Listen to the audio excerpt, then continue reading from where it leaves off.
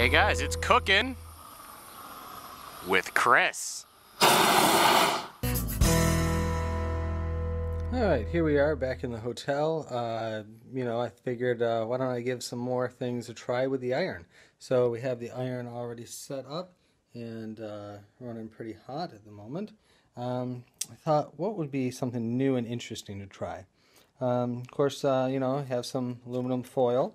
Um, so I stopped over at the store and I thought, you know what would probably be pretty easy and fun is uh, some Ball Park Angus beef franks, bun size.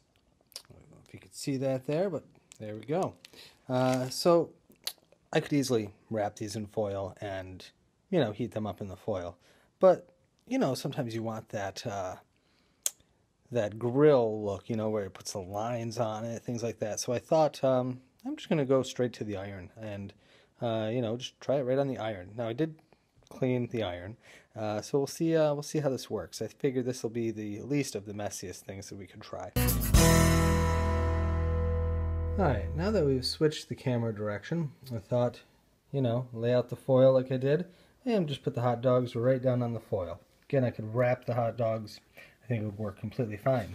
So I want to try to get this, uh, uh, it's hard to see, there you go, that nice pattern on the, uh, the hot dog. So, uh, you know, quite straightforward. I'm just going to put it down on the dogs. Oh, you hear that sizzling already. Let's see what this does here. I think I need to leave it there for, uh, you know, a few moments, a few minutes.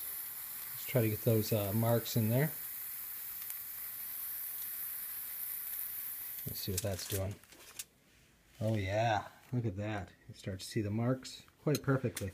Uh, we need to rotate our dogs. I think the best way to do that is take our, our iron here and just, uh, let's see.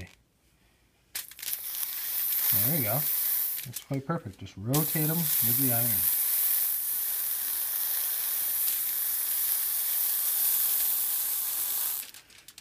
Yeah, I'm going to do some of that side. Just place the iron back on there again.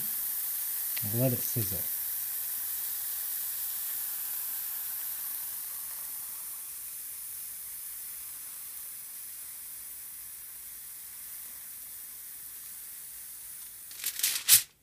Oh, we got a hot dog stuck. There we go.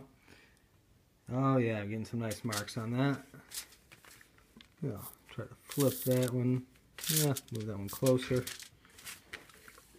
And those, that side, another sizzling.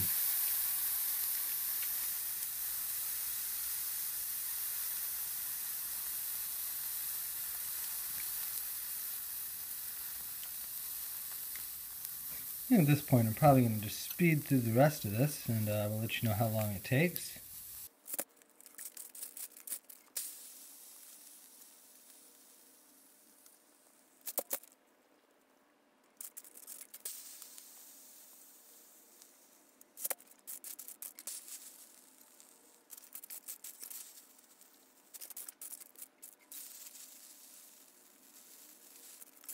All right. And there we have it. I think these dogs are done. Now, to be nice to the next person, I'm definitely uh, in the hotel here. I'm definitely going to clean off this iron. Uh, of course, the first thing I can do is just, uh, you know, take some of that and wipe that on the towel there. Uh, but we'll definitely clean that off later. All right, I'm going to go to uh, preparing these, and uh, we'll we'll check back on these in just a second. Right, so I've finished up my hot dogs and uh, just gonna put them on the buns here and you know give you a good look at them, see what you think. Here are the finished hot dogs. You have a nice iron uh, pattern on them, like I like I wanted, and uh, they are quite warm actually. Uh, you know, I'd say a perfect temperature for eating. So I have uh, some buns ready and some ketchup packets, which I uh, found, uh, you know, uh, downstairs at the hotel, uh, you know, to kind of a to-go thing. So I figured, why not? Uh, perfect solution. So we'll just put one of these dogs in the roll and try to open up a ketchup packet one-handed. That's not going to happen. Set in the phone down for a second. Okay, I got my ketchup packets pre-opened now. And uh, so I prefer, uh, sorry about the shadow there, I prefer uh, nice little zigzag pattern on the uh, the dog.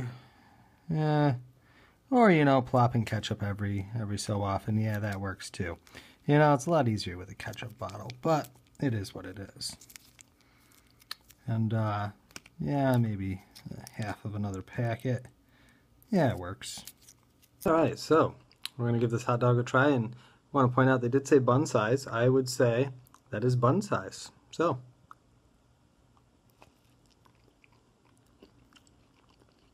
Yeah, that's a fine cooked hot dog. Yeah. Don't think I could have done any better. Well, maybe with the torch, but yeah, uh, it works out quite well. I don't think I'm going to do this at home because really I don't want to own an iron. I don't have any desire to iron anything. So maybe just down the road. And uh, yeah, I think that's about it.